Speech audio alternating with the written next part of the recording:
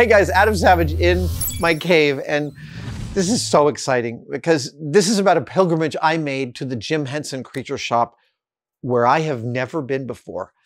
I cannot believe that I have not yet crossed that item off on my bucket list, but now I have, and I'm here to tell you it was everything I hoped it would be. It's hard to overestimate how important the Henson Creature Shop is in my brain. These are the folks that made Labyrinth and Dark Crystal, Teenage Mutant Ninja Turtles, The Muppets. They have just finished production on season two of Fraggle Rock, Back to the Rock, and they shipped in some of the costumes and pieces from that production to show me it was so cool just how they make the magic that they make. Okay, let's get into the video.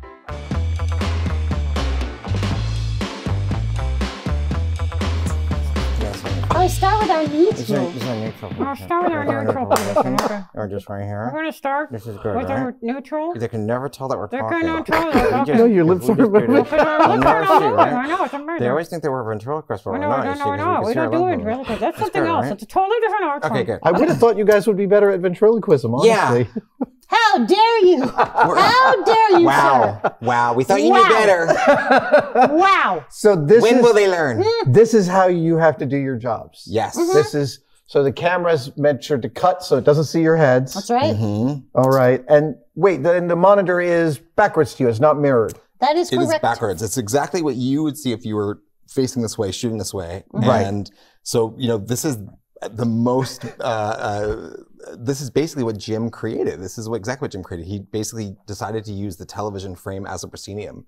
And so instead of like, you know, puppet shows of, of those days where you'd see like, you know, a, a Kukla Fran and Ollie where the puppeteer would be hidden behind a stage Right, right. you know, he said, well, let's just use the television as our stage. And so what we learned to play to is basically using the screen as as our as our friend, mm-hmm. as our And when you were joking about the neutral position, you really are trying to figure out always what your neutral position is from each camera angle. Yeah, so a puppet's position, first of all, the bottom of frame is usually the the top top of a head. So the bottom of frame is just above Donna's head there. Mm. Thank you, thank you. You're welcome. I just want to know you were loved. Thank you. very and then the, the neutral position of the body is, you know, straight as you can because the Yeah. arm has a natural bend and we try to, you know, not show that, not Yeah. show that there's an arm. No arms. Because that's weird. yeah.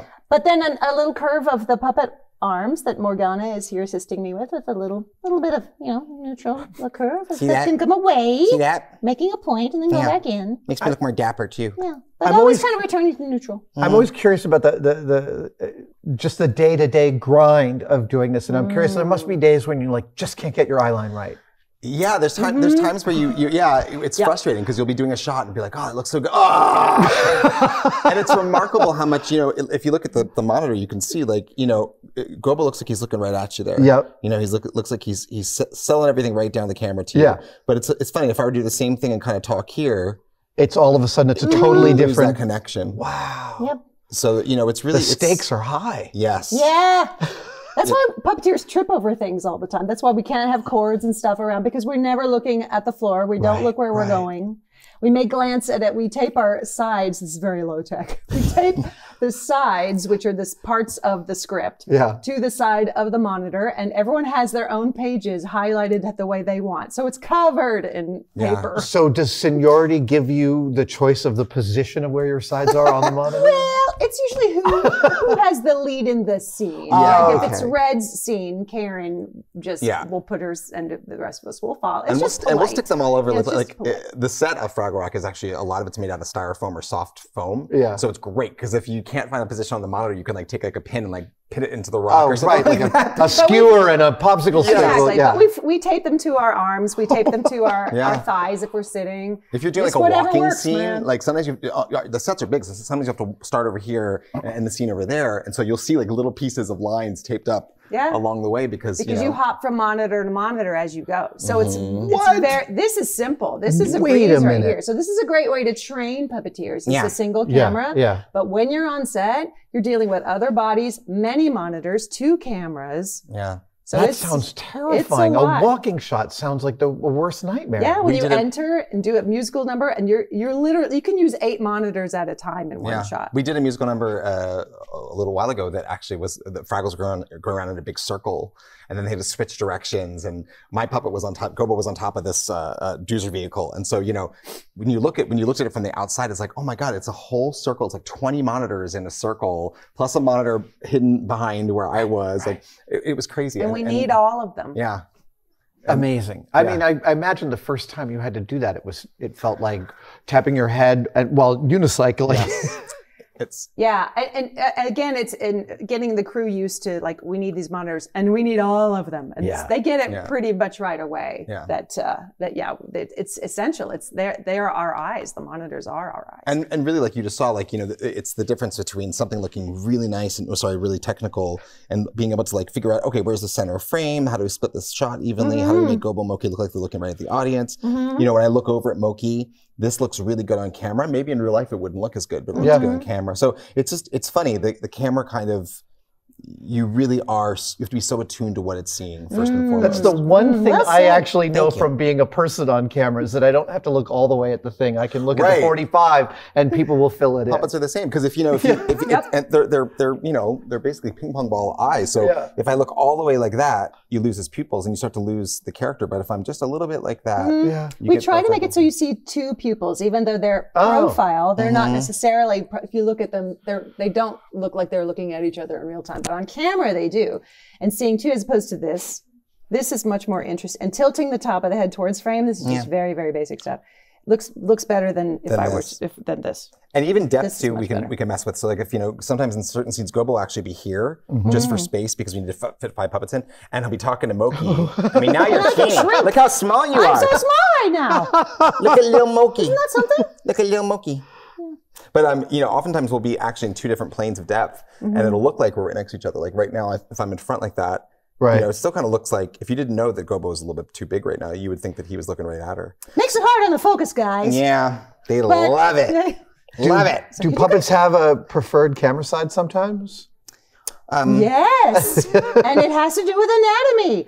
Look, at- so right now Johnny has the harder job because Mm-hmm. Johnny's hand is twisting the way the hand doesn't want to twist. Where mine, because I'm right-handed, to turn this way is easy. I can go all mm-hmm. the way behind. Turning this way is hard because I'm going against myself. yeah, Oh, so I your see. body has but to I rotate do have the with, so- preferred human position because my my I can lean myself out of camera and not strain as much to get in. But Donna's in the middle of the shot. And I'm so getting, as you notice, I'm getting my Oh. head bonked yeah, you're getting by. hit with my rod. you know what? It happens. I'm used to it. Does Exactly. anybody is anybody a switch hitter and can puppeteer left or right? Some people can. Some That's not people one can. of shocking to me. people. No, I I can know. I imagine must feel like In fact, we oftentimes have to do two puppets, you know, like where you'll, you'll see like a big chorus of Fraggle singing a musical number. And it's so funny because it's like, you know, even the most skilled technicians with their dominant hand, you put on a puppet on your left hand and, you know, you'll notice that your, your puppet's suddenly singing like up and to the left. You're like, oh God. So it's funny how much we depend, it, it, we're so true to our dominant hand. I can't puppeteer with my left hand for anything. I did one shot and I was so proud where oh, Mokey yeah, is right. holding on to something and dangling and I didn't have any lines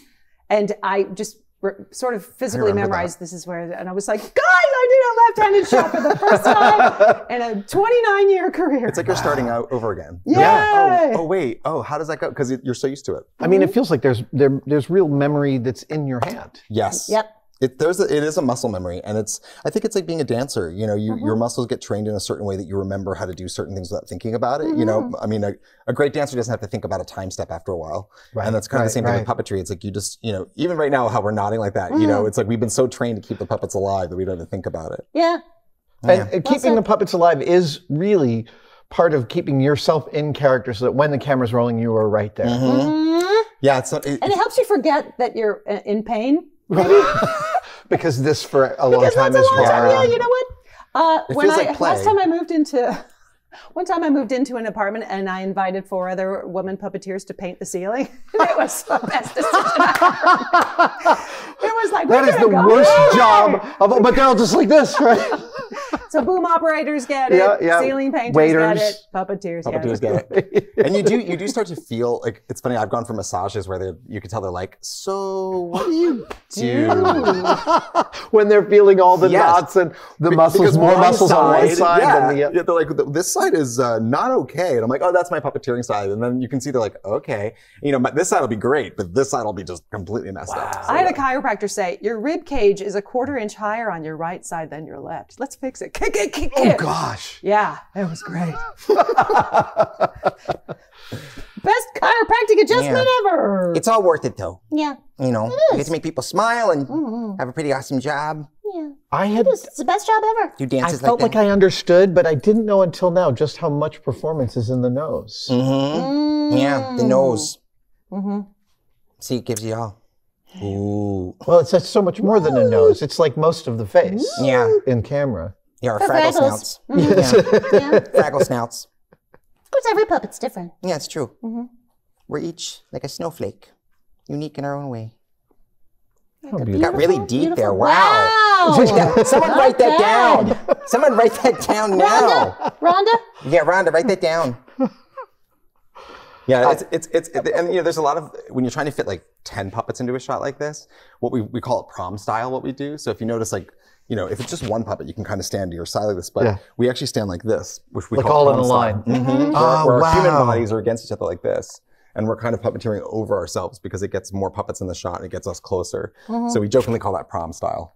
So if you have a really tall puppeteer or a really short puppeteer, you have to mm-hmm. bring out some boxes oh, for them yeah. or everybody Well, or else. shoes. Or shoes. Yeah. I have a pair of custom made shoes that, that make me six feet tall, that are flared at the bottom. And Right. then I have Oh, some that are like make me three inches taller than I am. I call them the, the, the baby spice shoes because you remember like baby spice back in the Yeah, Spice Girl yeah. shoes. I was calling that. Yeah. super platforms. And then we have other puppeteers like the very talented Frank Meschkuleit, who is six three. Who So he I- spends the whole time like he this. origamis himself. He if he's by himself, he'll do an action stance. That's But if he's smushed in amongst us, he has to literally origami himself into. We did a shot some- recently where, where Frank was with, uh, he plays Boober and he was with Karen, who does Red, and Donna, who does Mokey. And Karen and Donna are both shorter, and Frank is so tall. So literally, it was so funny. He spent three minutes. I was watching. I was like videotaping it. You know, you guys are like standing pretty comfortably, and Frank's like, he's like this, and he's and he's having to walk it. So he's like crab walking in the scene. But it's just like, and he said he doesn't even think about it. That it's just, and it's true. You don't. You really find yourself in positions where you're like, what am I doing? what am I doing right now? So speak. I just want a practical question. Speaking of pain, like how much of the day on a regular shoot day of Fraggle Rock are you guys literally like this? Is Oh. it Yeah. Mm-hmm. five hours? Hours. Hours. Yeah. Hours. Yeah. Especially if you're, you know, when when we're standing free like this, it's great because we can come down and rest. Yeah. When you're like sitting on a rock or you're hanging out of the side of a wall, which happens a lot in Fraggle Rock because you see puppets on on walls, you see Fraggle Rock. Oh, so you You're can't just stuck. remove it. So Yeah. You're- sometimes you have to really just go into a place of, you know, it's almost zen-like in a way. You just mm-hmm. kind of get, you kind of, you get used to it. Yeah. But I'd also imagine sometimes it's rough and you turn to your fellow puppeteer and they know your experience and that's enough.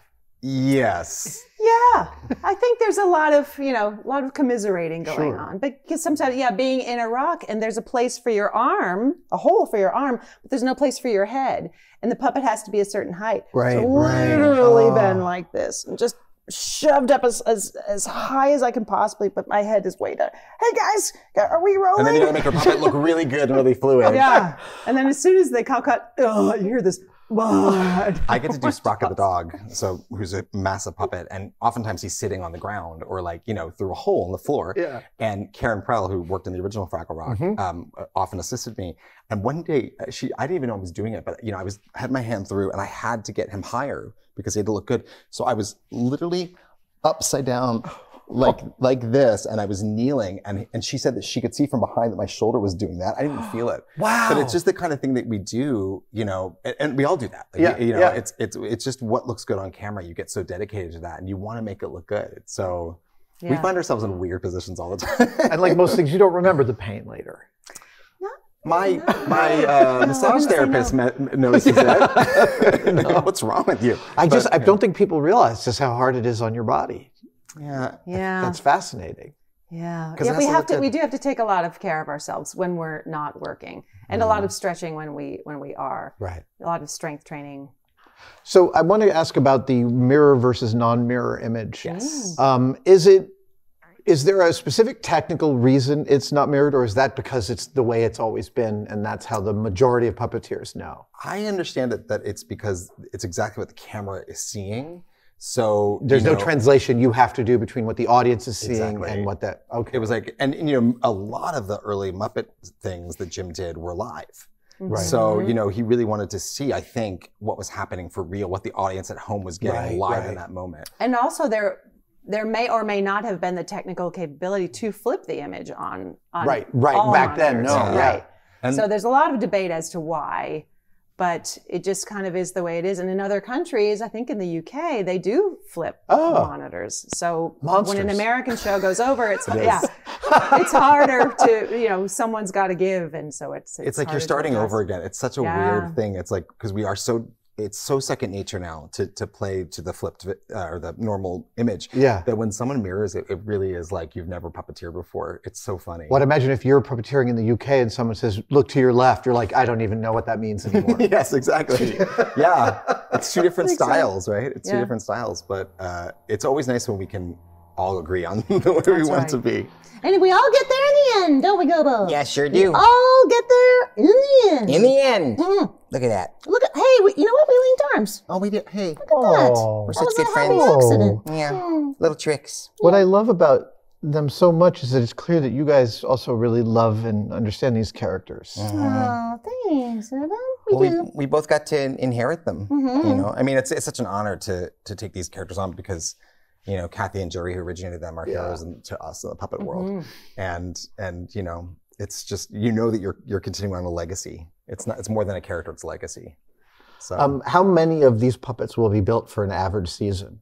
How of dare these you. two guys. Excuse me. What on earth are you talking about? we are one of I a forgot kind. that. Never mind. I didn't ask. that. Um, I believe two, and then a stunt or swim one. yes. Stunt or swim? There's one. actually there's there's uh, this year there's four. There's there's the Oh. two main that we can uh, go between, and then there's a stunt version, like Don was saying, like an armature one that we can either throw or put in weird positions. And there's a swim version that's built differently so that it can be in the water, and not absorb pond. a ton of water. And yeah, and it, usually they don't use glue on those puppets because the glue, when you throw the puppets in the dryer to dry, the glue would dissolve. So ah. they're all sewn. Oh And wow. yeah, and it's really funny. And it's like, you know, talk about a weird situation for Fraggle Rock. They're in the pond a lot. And so there's a puppeteer under this actual pond with their arm through a rubber sleeve going all Oh the way into God. the, into the uh, pond. And then the puppet has to be put on top. So it's, yeah. I'm sure the the seal for their arm is perfect and there's no leakage. There actually isn't. Really? I mean, has, Season one, there was. oh yeah. And we were like, so these there's a lot of monitors and cords. It's all okay, right? Of course it is. Sure. It was. It was. But uh, again, it's your head's against this fiberglass thing. But um, but yeah, it's a trip because you feel the puppet sucking in the water, and it's like you can't, you almost can't come out because then you can't get back in Wow. because of it, like, you know, it's like absorption. They have to anything. It's- squish It out sticks the- to your arm. Yeah. Oh wow. They have to squish out the the, the foam. Yeah, we did a water scene last year where Red was in the pond, and Karen, who performs Red, was, you know, we were like, okay, and then she jumps in the water and she resurfaces and shakes it off, and after a while, you're thinking, oh yeah, like this is absorbing so much water, and so it was like lifting like 50 pounds over your head. you know, you don't think about that, but it's true. They're like giant sponges. Well, that brings up a question um, for each of you. What is the hardest thing you've been asked to do with these characters? With these characters, Hmm. gosh. If, if these haven't presented huge specific challenges, I'd love to hear about hard challenges with other puppeteering. I think for me it was being in the pond. I stupidly volunteered because I love I love the puppets in the water. I just love like it just it makes you go, how are they doing that? Yeah. So the pond we have this year is actually about eight feet deep. It's like it's like a basically like a whirlpool. Yeah. And I was like, hey, what if I got in a wetsuit and I got in the actual pond with the puppet With like a did- straw? And we did, yes. yeah, we did. And we did this like really cool thing where like you know Gobo jumps in, does- and I was like pitching all this stuff, and then of course everyone's like, okay. And then the day came, and I was like. I'm in a wetsuit in the water with a puppet. What's happening right now? And it was it was really hard. Once Yeah. he absorbed water, it was just like, and the water was cold. It was it was crazy. But that, that was but one of those days where I was like, my seven year old self would have loved this. This is what you wanted to do. Yeah. So live the moment. yeah. yeah, water is always tough. Um, when they're flying and dangling, that's that's always kind of fun. I think holding a, a full body puppet or anything heavy out at this angle Yeah. is can be really hard. Hard on your body, hard on your tendons. Um, Oh, that's true. We should say because sometimes what we'll do is to do the whole puppet to see the whole puppet in the shot. We'll put on blue suits and we'll open up the back of the Oh, head okay. and we'll do just the head and maybe the body, and then another puppeteer will do the hands, another puppeteer will do the feet. Got it. And so you're then you're putting like Donna saying you're putting all the way out in front of you, but it looks amazing because that's how you see Yeah. you know a, Yeah. a puppet dancing full body. Yeah. But Um, I'm curious how each of you got into puppeteering. What was your first foray into the professional field? into the prof- professional field. Uh, I was doing a, um, I was doing theater, musical theater, uh, with a friend, and we talked. My friend Paul Lewis, and we talked about our uh, mutual love of puppets. And he said, "Hey, if I built some puppets and we did shows at like schools and malls, I could pay you sixty bucks a show. Would you do that with me?" I'm "Sure." I love puppets. So that was my first, and then he sold one to a local producer, and that was my first series. And that was 1994. Wow. Oh no, that was mine. I it was actually Fraggle Rock. I was seven years old and I had never seen Fraggle Rock before. My parents and I were staying at a, a motel that had HBO. That was a big deal. But Yeah. turned on the television and there was Fraggle Rock, and I remember having this gut reaction to it, like where I didn't want to stop watching it, and I wanted to know immediately how they did it. And it just changed my life. It was like the day I realized that there are people who do this and Yeah. do the voices. And, you know, I grew up doing theater as a kid. I loved theater and it combined everything I love about it. It's voices, it's singing, it's character, it's movement. Yeah. You know, it, so yeah, so the original series is what inspired me. So it's still very surreal. They know this. I make, I cry all the time That's amazing. because, I, you know, you're Yeah. like, what am I doing here? What's Fantasy happening? This is happening. Yeah. Yeah. Well, thank you guys so much for showing me some of the ropes and also some of the rods. Oh, I see what he did. Uh, you were Look at working on that one for a while. That was no, it. it just came up. Wow. Ah, well done, you. yeah. Well done. Thank you. I think you're an honorary Fraggle for sure. I Yeah. appreciate it. I appreciate it. You guys are awesome. You're Thanks, awesome. Mr. Adam. You're awesomer. Yeah. No, no, you're awesomer. When I don't, come into I don't have sympathetic movement. Oh, well. Oh, well. I don't know. Oh, actually, I might into your Belubiuses because I know exactly where we should go. Tell us in song. Hey, okay, it's a party down in Rock today.